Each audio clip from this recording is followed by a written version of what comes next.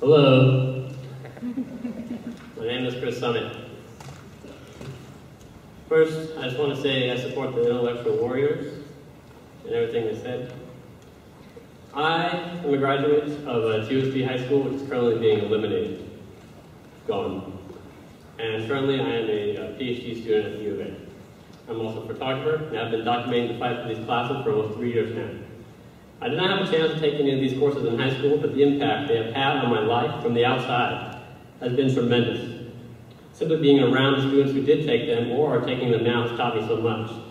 I photographed amazing feats of courage and wisdom performed by alumni of the program. Their positive impact on the world is happening now and will continue into their adult lives. Why would we want to eliminate a program which has this effect? The MAS program is solid, but you don't have to take my word for it. I'm a scientist, and I know the importance of hard evidence, and MAS has it, 10 years of it. Most recently with the Cabrera report. When the district will pay thousands of dollars to an outside source in order to debunk it, and they come back and recommend it to be expanded, you know you have an amazing program. It changes lives. It's changed mine, and I never even took a class. You cannot deny its success. Bring it back, reinstate the old program, do not try to build a fake new one. Here are some important topics that need to be addressed. No book banning. Unban the books that got banned. This kind of censorship is ridiculous and archaic. Make the classes core classes. They are advanced level classes and should be treated as such. Expand the program to include African American, Native American, Asian American, Middle Eastern American classes. Also, include a women's studies component. Everyone deserves history, and their access to their own history and culture. Stop segregating ELL students. This does not work. Incorporate a system of monitoring involves the community and students, which ensures that TUSD maintains compliance with the unitary status plan. If this is left up only to the TUSD board, it is the same as not having a system at all.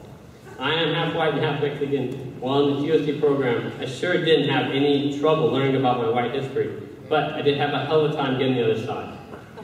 I wish I had the opportunity to take the classes, but they weren't offered at my school. Let's not deny the students this opportunity. Expand the classes, offer them at all schools in the district, just like they all have math and English, because they're just as important. You have a chance to make history. Do the right thing. Make good history. That's all.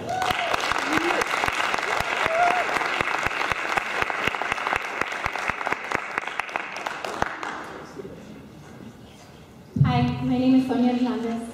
I'm a community member um, with family in TUSD. I support the Declaration of Intellectual Warriors. I also support Mexican American Studies and its teachers who I've seen truly save lives and whose alumni have helped me feel whole and proud of who I am. I also support bilingual education, and I hope to have my niece and nephew experience it. I reject separation of ELL students. I have been present in the fight to learn our histories and culture for too long.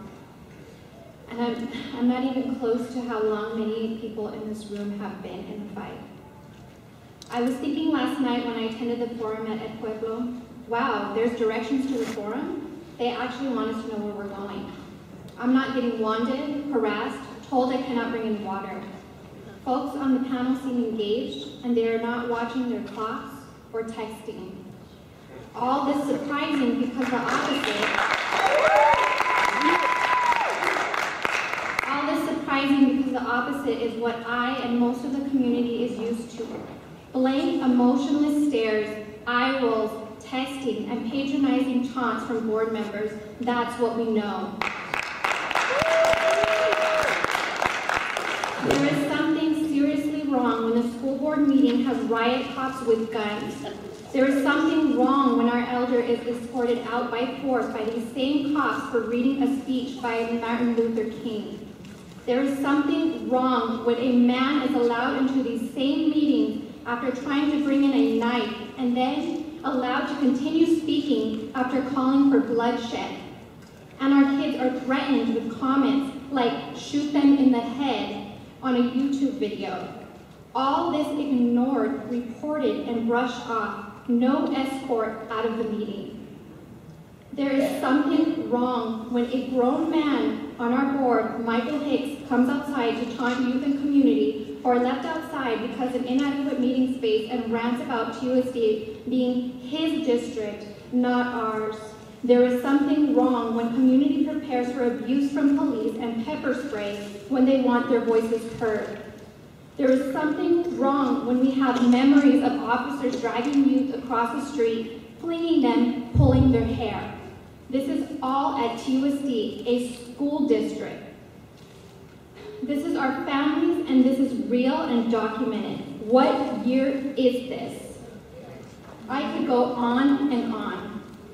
It is obvious that there is something wrong with TUSD, and I hope, Dr. Hawley, you are here to hear these truths and support our community, because this kind of trauma, yes, trauma, we have used this word often as a community, and we are talking about education. This is sad. This is not only, and this is not okay, and this needs to stop. Thank you for your respectful attention, which is lacking here with TUSD.